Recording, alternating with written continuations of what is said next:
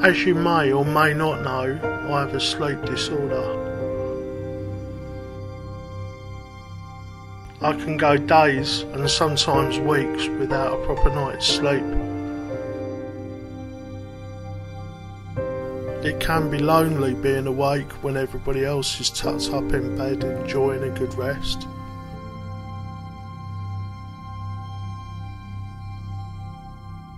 Due to my condition, had a stroke in 2009.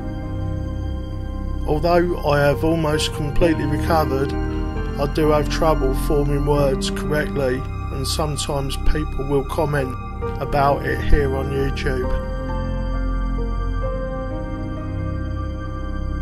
Now, you see, when I fly at night, none of that matters.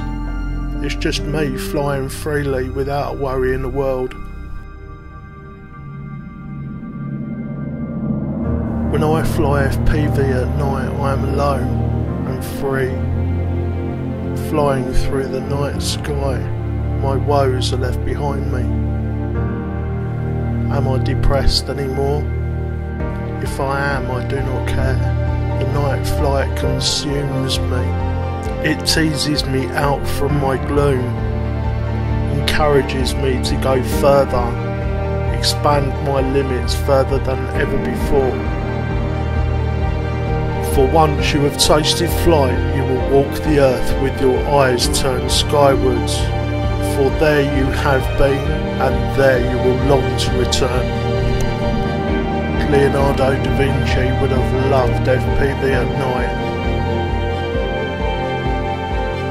I can explore worlds seldom seen by others, free to go wherever I please, unencumbered by the goers of day relaxed and cleansed by the cool air breeze.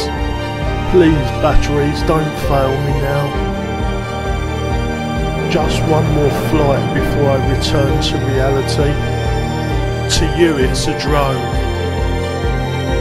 but to me it's a throne, one that carries me through the sky at night.